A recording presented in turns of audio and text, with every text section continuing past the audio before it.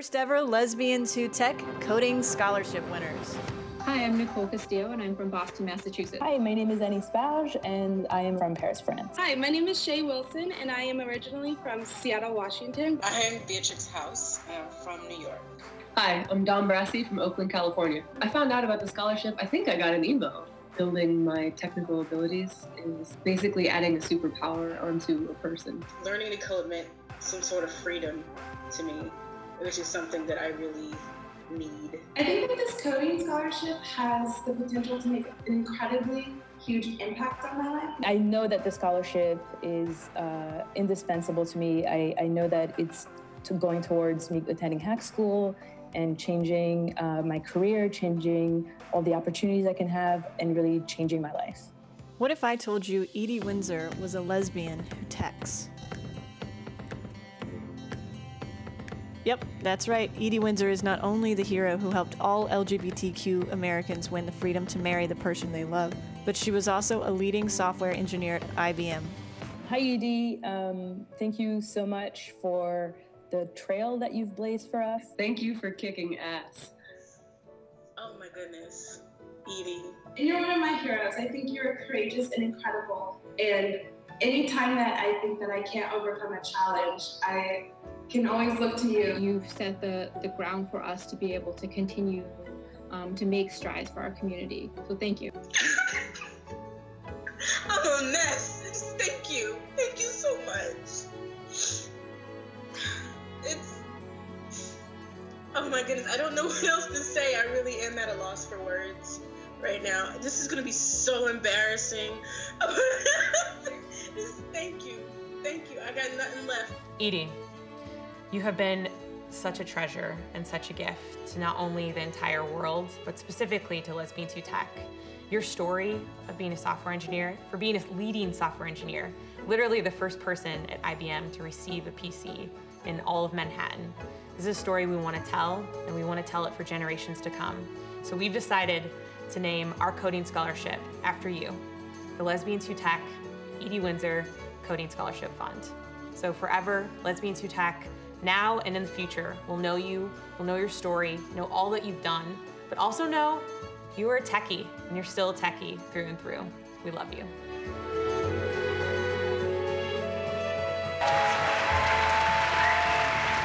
Lesbians Who Tech, welcome to the stage, your 2016 Coding Scholarship winners and Leanne Pittsford.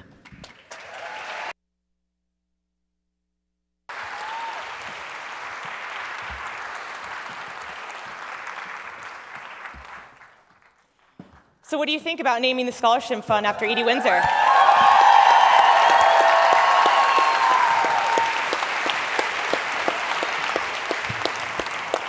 How many of you knew that she was a software engineer at IBM?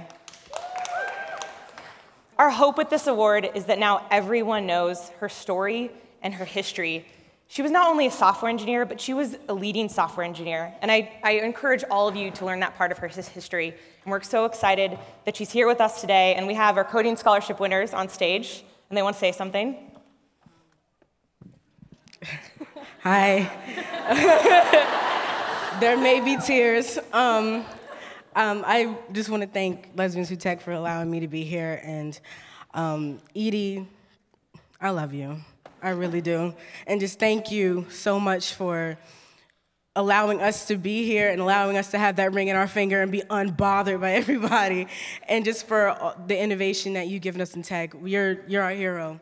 Just thank you. Thank you so much. Please welcome to the stage, Edie Windsor.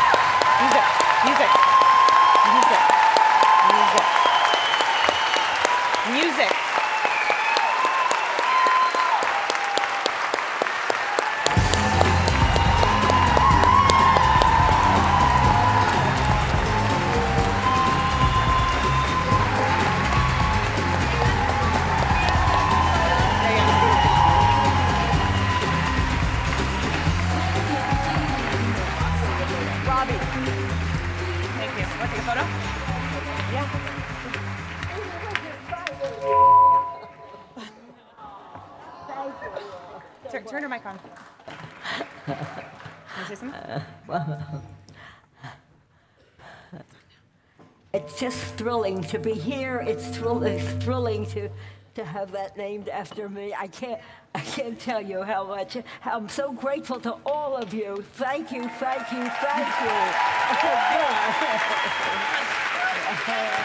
you.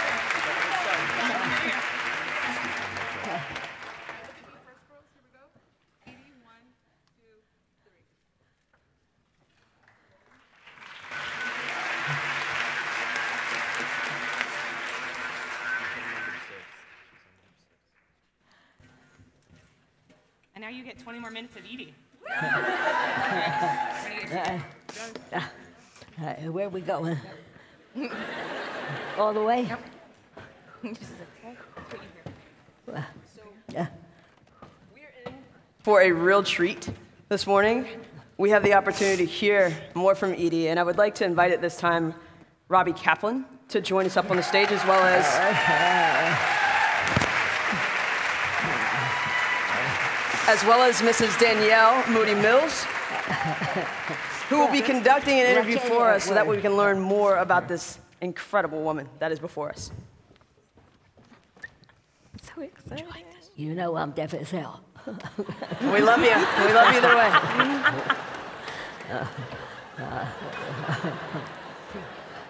Oh my God. How major is this? It's so major. I'm so excited. Thank you. I can't stand it.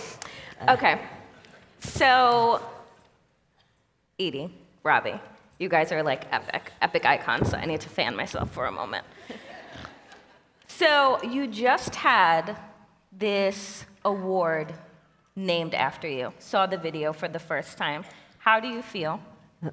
Well, as soon as I stop crying, okay, I'll be real fine. I'm very exciting. I'm thrilled with it, just thrilled, and I'm. I, I, all kinds of wonderful stuff's been happen, happening to me. This is one of the most wonderful. It's Just thrilling. Uh, Oh my God. Love.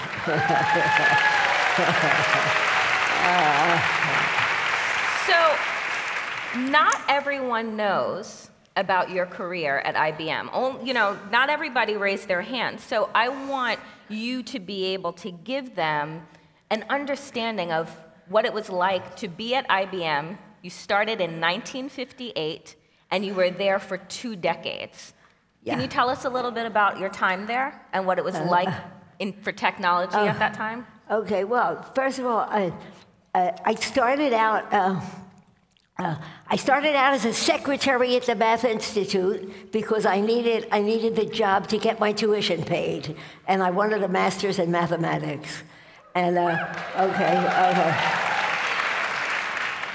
And, and I quickly, I quickly became. I went to programming classes because there was time in between, and I quickly then uh, asked for a different job, and uh, it became. I forget what it's called, but. It's, uh, uh, anyhow, it's a kind of assisted scientist, whatever.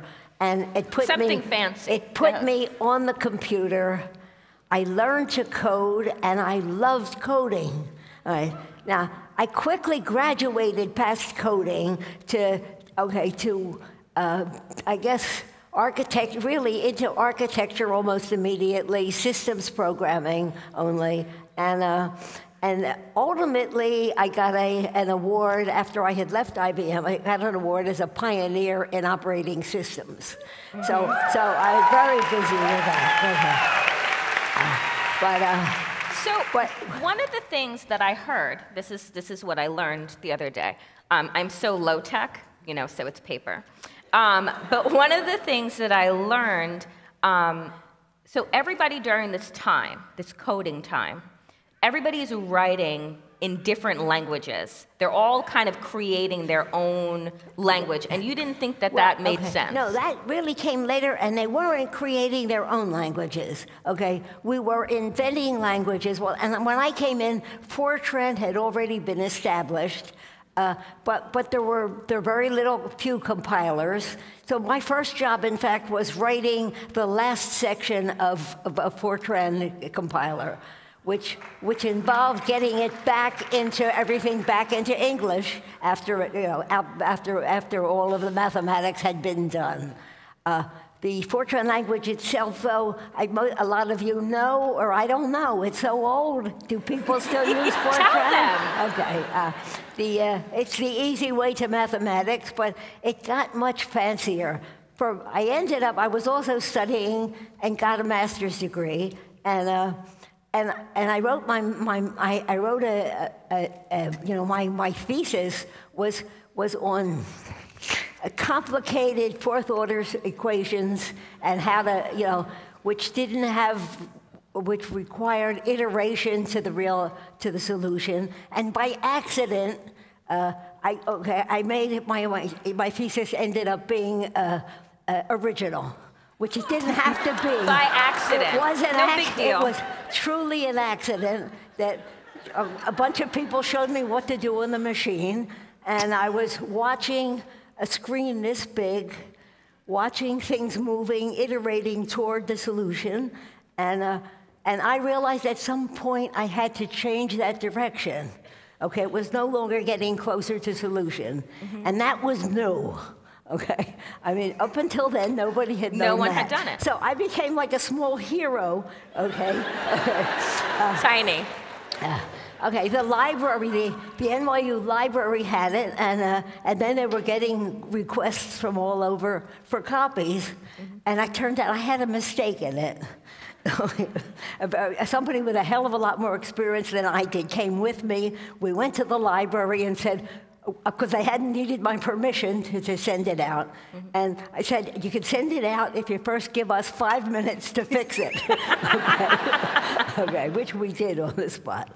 Uh, and then, and then it just kept going. Uh, at some point, there were, in systems already in progress, uh, there were um, there were bugs, and corporate kept coming down into, into our or, organization and complaining that people weren't accepting the, the computers. And, and so I, I was called a supervisor. Everybody later got hell for that. We don't have a thing called a supervisor. Either she gets promoted because she should be, or she doesn't. Okay, but that's all.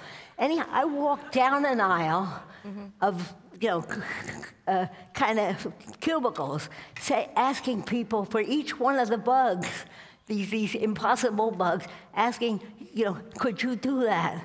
And the answer I got was, uh, can you get me machine time tonight? and because, of course, you didn't have nice machines at your desk No. or even available. Right. And, uh, And by machines, you know, so, computers. So, so again, I was a hero. I was a hero because I had all these smart people in cubicles who solved the damn problems. Okay. okay. That's what people in cubicles yeah, do. yeah. They solve damn problems. Yes, I loved talent, and okay, and I think my real my real talent was that I loved talent, and uh, so people worked for me like they were hadn't been working. And, uh, and I made sure everybody got full credit for everything they were doing. So it just kept going. Okay. okay. Uh,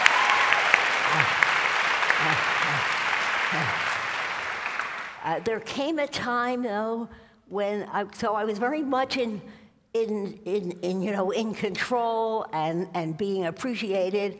Uh, again, IBM then thought that programming was a one-shot problem. Okay, we, we put this software out so people will now accept the machines, and that would be the, pro- the end of the problem. So we were a bastard group. We had, they took a floor in the Time Life building in, in, uh, okay, in New York, and, uh, and half of us had never had anything to do with IBM before. Uh, Yeah. And, uh, and we proceeded to work. Uh, in the process, though, uh, it just it just kept going. Finally, the corporate realized they needed, okay, they would need to upgrade us all because uh, because they were going to need this stuff some more. How so, many women at this time were, were working with IBM? Were, were, were you one of the few women that were doing no, this work? No, or- the play, it's one of the things, and and uh, Megan Smith confirmed for me for the first time that 40% of the people doing technology at that time in history were women.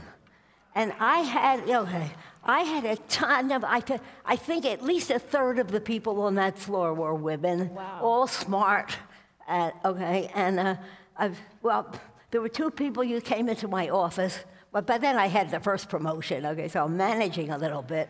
And two women came into my office and wanted to talk about, uh, I don't even remember the word they, words they used, but it turned out it was really internet that they were talking about. And, uh, okay, okay, and, uh, and I said, tell me why it's important. Tell me what it is. Tell me why it's important. And they did that, and uh, okay, two days what later. did they say? I'm just curious. Why, why did they say the internet was important? Uh, well, for the reasons that in fact it is. okay. I know that. But, this but is decades it wasn't ago. Registered, it wasn't Yeah. registered with me yet enough that I could go to management and say, we need more money, we need more people, we need to do this. But- So I would call them back a couple days later and say, tell me again, what is it? Why is it important? okay. Finally, they got it into my head. I did get us the money, and we began to, okay, to do that. And then, But- yay, but internet. they were all smart women. okay. Wait a minute, I thought Al Gore invented the internet. I know. Now we know it was Edie. Now, none. Okay. Ultimately, I know everybody very well, and none of them were lesbians. So I. Okay. Did you ask? Uh, the thing is that I lied all the time. Mm-hmm. Okay. I never told the truth, and we were good friends because we were this this kind of separate group. Uh, we ate lunch together. We had drinks together after work. The only thing I didn't do was see, go out weekends with them Mm. when, when everybody was doing wine tasting because I, because I was gay. but, um, Yeah. uh, until years and years later, people said, Edie, why didn't you ever come to the wine tasting? And I said, because I was queer. But we love wine. Yeah. Anyway. Um, so, aside from inventing the internet, working on working on machines, and like creating languages, you know, you are one half of the greatest love stories that I think I've ever heard. So, yeah, yeah. How many of you- As a matter of fact, the film about us, the Oh, yeah. documentary, I was gonna tell them, but you tell opened in this theater. Oh, okay. okay. It was a very big deal. It was a deal. huge Uh, deal. How many of you have seen it? Okay, yeah. so tell us about your wonderful, very long engagement of 41 years. Well, first of all, I met this woman. Yeah. Uh, oh, I, okay, I won one of the fellowships that IBM was doing to upgrade us. Mm-hmm. And I went, to, I, went, I went to the wrong, I picked school of my choice, uh, degree of my choice, and uh, full salary, Mm-hmm. uh, which is pretty good. Except I didn't, there was no, there's still no literature, uh, there were still no computer courses anywhere. Mm-hmm. And if I had chosen either MIT or even NYU, okay, where, where mathematics and, and the computers were very active, I didn't. I chose Harvard because there was a brilliant linguist guy who was using, one of, using the computers for translating languages. And my interest was, was creating languages for using computers. Uh, so we did, we did Fortran, we did COBOL, uh, we did one which, you know, I'm losing words, okay? I'm 86 years old and I lose words. But, okay. You created like no one cares. Okay, there was You one. like they- yeah, okay. okay. One great language, okay, really uh, developed by, by most people, mostly, mostly working for me, uh, which for, for which we wrote, we wrote one whole operating system. Uh, it died, it died because later, because at exactly the point we, we really needed, needed it for the small machines. And people, we had people working on developing compilers for the, for the small computers when, uh, when IBM lost its interest in software. And we had already, we had done studies of 10 years out, okay? And I was working, at one point, I spent a year being IBM's uh, strategist for, for all programming languages. And, uh, and they, they just moved, moved it out and gave it away to Gates, okay? Ultimately, okay, okay. Uh, you guys know the Gates she's talking about, right? Uh, and she just she's just dropping names. no but, big uh, deal. But in the meantime, okay. Uh, uh, anyhow, I got when I got back out of out of school, I, I really quit in the middle. I didn't get a degree. Robbie and I later got honorary doctorates, which is very nice because I never would have gotten one otherwise.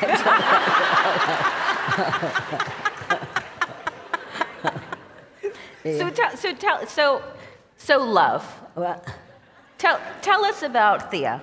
Oh, she, okay, she was a clinical psychologist. She was very beautiful. Mm-hmm. And, uh, and when I met her, uh, uh, okay, a friend of mine had really, I got back from school. Yeah. I, I was out of touch with everything. And, uh, and I finally I called a friend of an old friend of mine, and I said, "Please, if you know where the lesbians are, take me."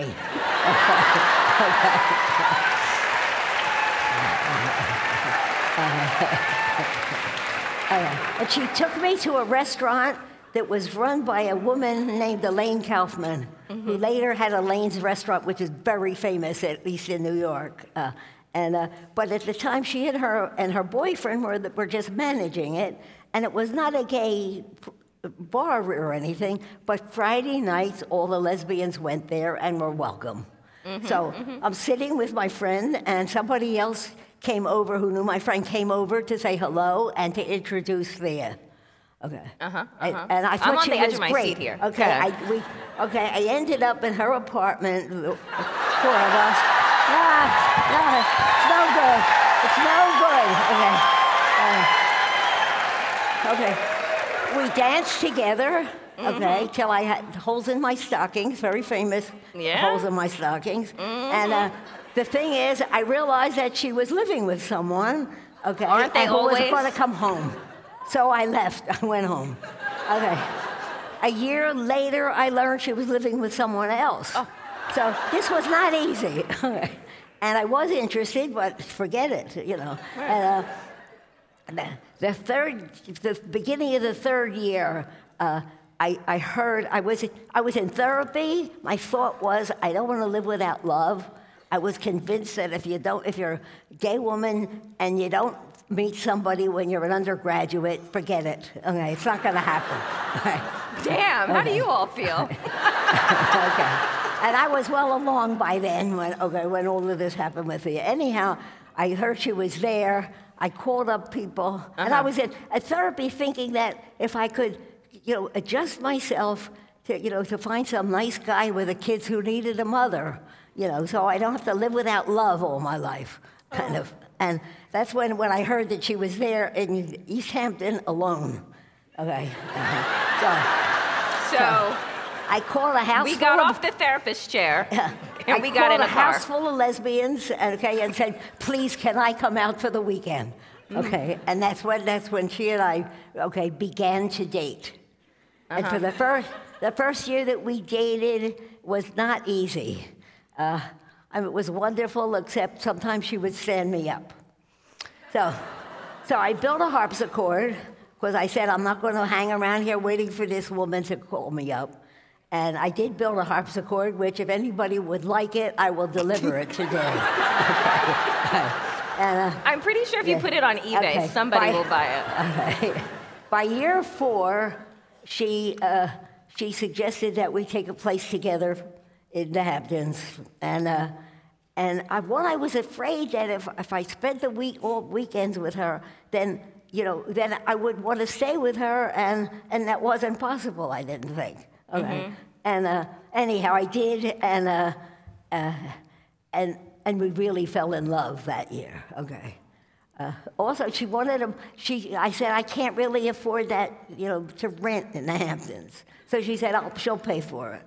So, but she wanted a motorcycle. So I bought her a motorcycle, and then she wanted a white motorcycle. And yesterday I saw a white motorcycle out on the street, a beautiful white, but there were none then, so I had to have it custom painted, okay, which I did. Okay. Uh, anyhow, Are you guys taking and that was the beginning. This is how you land a woman. I don't have my engagement pin here. Okay, we were driving out to the Hamptons, and she said, Suppose you got engaged. Would you wear an engagement ring to the office? You know, it's IBM. And I said, Of course not. Everybody would want to know who is he and when do we meet him? Okay. So I had, a, I had an imaginary person named Willie who was the name of Thea's doctor that she had brought with her when she came from Amsterdam when she was a little girl. Okay? And uh, Willie still lives in my closet. Okay. So in 2000, we're gonna, we're gonna we're gonna fast forward a bit to when you get married. So it's 2007. yeah. Okay. And- we got engaged in, in 67. In 1967. Yeah. Okay, so we, we were engaged for 40 years. Okay. And, and, and then the minute it, it was possible, by then Thea was quite crippled with MS. And, uh, and I asked her if it, it turned out that there was a case that, that where New York, it proved that New York accepted legal marriages for anywhere, even though they were not giving, you know, doing marriaging. And, uh, and so I went to Canada. Every, everybody went to Canada then to get married. Okay. Uh, and, uh, oh, well, but it, but it took a while because first I asked her if she wanted to go, and, uh, and she said, not really, but if you really need it, okay. Okay. So I said no because it meant going without all her equipment. Okay, and I said no, unless you know, unless we both have a passion about it, just forget it. It's not that important. And about a year later, she had a lousy prognosis. She had a heart problem, and uh, and and she she asked how long she had, and the doctor said within a year. And uh, and she she got up the next morning and she said, "You still want to get married?" And I said, "Yes." And she said, "Me too." And now, okay. so that's what we did. We went to Canada and got married. Uh, That's amazing. So, Robbie, so here we are, gets married 2007, and then we know that when you're gay at this time, 2007, first comes love, then comes lawsuit. what, why did you decide to take this, to take Edie's case on? and how did that, how did that come about? So Thea passed away in 2009, sadly, and Edie was aware that there was this law in the books called the Defense Defense of Marriage Act, um, and she knew that as a result of the Defense of Marriage Act, or DOMA, uh, that she her marriage to Thea would not be recognized under federal law, even though it was recognized under New York law, and that would have, like all Americans, death and taxes. That would have tax implications for her. Uh, and it did. Uh, and she had to pay a very, very large estate tax bill. It was over $300,000. Over $300,000, not because she's any kind of hedge fund or private equity Right. person, but because, like a lot of people, they bought an apartment in the village uh, in the 80s that hadn't cost that much when they bought it, and today is worth a fortune. So she had to pay a tax on that. Um, and she paid it. Uh, but to use her words, and it was a word that ultimately gets used a lot of times by Justice Kennedy, uh, she felt indignant that she had to pay that tax and that her marriage to Thea was basically null and void for purposes of, the, of her own government. So she decided to sue. Um, she went around looking for a lawyer. Uh, fortunately or unfortunately, depending upon how you look at it, for me it was certainly fortunately, she got turned down. For me too. um, and ultimately, uh, through a mutual friends, uh, she was, I was given her name. Now, the truly incredible part of the story, or one of the truly incredible parts of the story, is that when I, my friend called me to say this woman, Edie Windsor, needed a lawyer, uh, I had never laid eyes on Edie. I had never met her. We only lived four blocks away from each other, but I'd never seen her. Wow. Um, but I knew exactly who she was. Um, and that's not because she is what she is today. She wasn't, you know, she, people didn't ask her for selfies and autographs back in, back in 2009. The reason was, was that 18 years before, Um, I had been in my third year of law school, and I think it's fair for me to say that I was kind of a late bloomer uh, in terms of coming out. Unlike my wife, who went to Smith, I was on a much slower curve uh, in terms of coming out. And I waited until the very end of third year law school, and it just so happens that my parents were visiting. Uh, they lived in Cleveland at the time, and they come to visit me in New York, and even worse luck, it was shortly after I came out, it was Gay Pride weekend. so they come to visit. I live in a studio apartment. They have to kind of wend their way through the Gay Pride parade in New York, and they get to my studio, and they're kind of in a state. And my mom says things like, you know, what's with the dykes on bikes? and what's with all the, all the rainbows? And, And what are, what's everyone so proud yeah. about? And I, and I said something like, you know, please stop. And as mothers and daughters kind of are wont to do, she continued. And, and, and I said, please stop again. And she said, why? Why are you asking me to stop? Are you gay? And I said, yes. This was 1991. And she went about two feet over to the corner of the building and, or my apartment and started literally beating her head against the wall. Um, it's not about my mom. My mom has apologized 10 million times for this. Um, when my dad is in a line apparently anywhere, whether it's the barber shop, the grocery store, the drugstore, he manages to tell the person next door that his daughter won a big case at the Supreme Court. So, so my parents. I would drop that too. I would tell everybody the dry cleaner, dog walker. Yeah. But, but as you can imagine, I was pretty low. And I went around New York asking, uh, and this is how you talked about it then, asking for a psychologist who was good at gay issues. Uh, and I kept getting the same name, and the name I kept getting was Thea Spyer. So I actually saw Thea Spyer two times only as a patient because I was moving to Boston in the fall in Edie's apartment because Thea was already paralyzed. So she saw patients in her living room. Here's beyond the beyond incredible. She actually talked about Edie during those two sessions. I remember her telling me that Edie, she had this woman, Edie, she'd been together with for many, many years. Edie was a math genius. Uh, Edie had gone to NYU. I, I can remember that part. Um, and, uh, you know, I think about why she did that. I'm not a psychologist, obviously. I just play one on TV. But, but it's, I, I understand psychologists aren't supposed to talk about their own lives.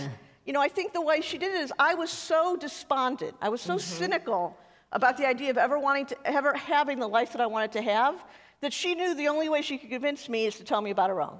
She talked about this with Edie Windsor. She was incredible. She really helped me kind of come to terms with myself.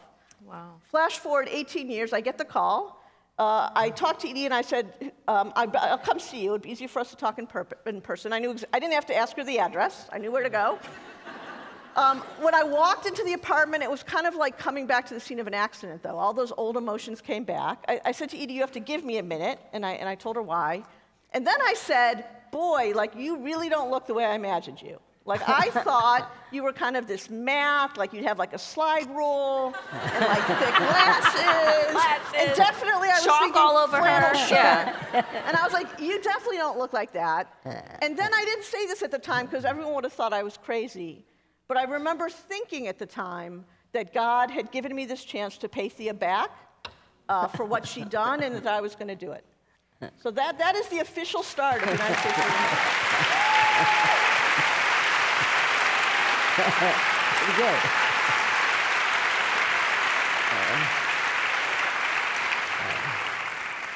If you all don't buy this woman's book, I don't. I have questions for you if you don't. Um, so I know that we're, we're, we're running, we're, well, we have run out of time, but I don't care because I'm going to ask one more, because I'm going to ask one more question. Um, thanks. Um, were you guys, you're going through this case, you're in the Supreme Court, your whole life, right, is on trial. You're having to, you know, validate your, your marriage, your lives. You are now out, right? So your life, in a way, is also on trial. All of ours were. W- were you able to separate the personal from the politics of the situation? Yeah. Or, or was that the driving force behind Yeah. this enormous win? It, it was, I mean, I had a post-it, when I was working on the brief for the Supreme Court, I had a post-it I put on my laptop that said, it's all about Edie Stupid, borrowing from the Clinton campaign.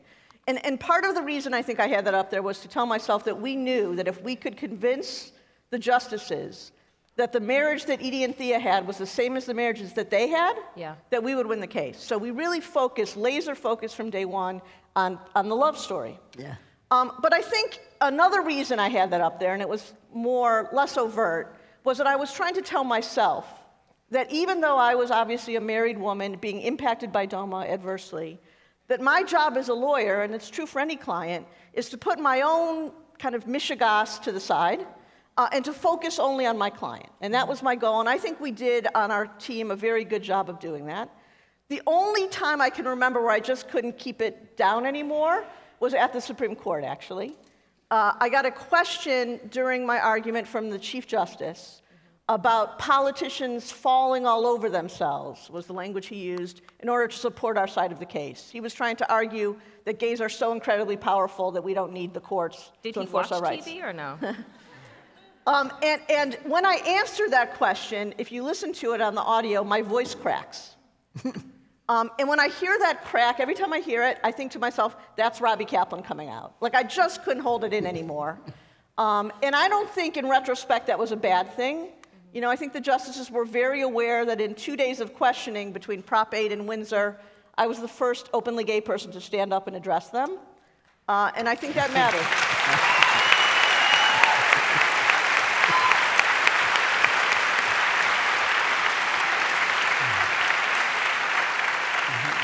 But I never would have told the story about Thea Spyer being my psychologist until we won the case. That's for sure.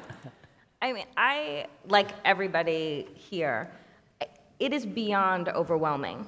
The two of you, your intertwined stories, and how you have shaped our history, our lives moving forward forever. Like you've changed everything.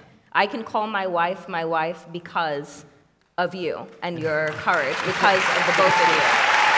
Thank you. Thank you. Thank you guys so much. Thank you.